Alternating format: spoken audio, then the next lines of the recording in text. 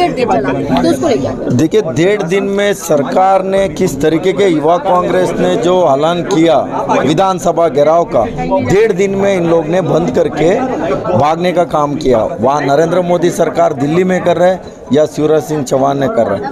हर चीज़ में महँगाई है। जो शिवराज सिंह चौहान है तो महँगाई है, बीजेपी है तो महँगाई है। इस समय में लोगों के पास पैसा नहीं है। सुई से लेके हर चीज़ में महँगाई बना के रख दिया है। आप पेट्रोल देख सकते हैं, सेंचुरी मार के नाट आउट है। वो तो अभी जब पार्लियामेंट खत्म होगा, डेढ़ सौ भी जा सकता है, दो सौ भी जा सकता है। और आप सरसों से तेल से लेके, दाल से लेके, आप कोई भी चीज़ देखो, गरीब, मजदूर लोग सुकून से दो रोटी नहीं खा सकते दाल के साथ। दो सौ रुपये बना दिया दाल को, सौ, डेढ़ सौ, दो सौ रुपये तेल बना दिया। मीन्स इस तरीके का जो सरकार चला रहे हैं नंबर वन मध्य प्रदेश अत्याचार में बना दिया।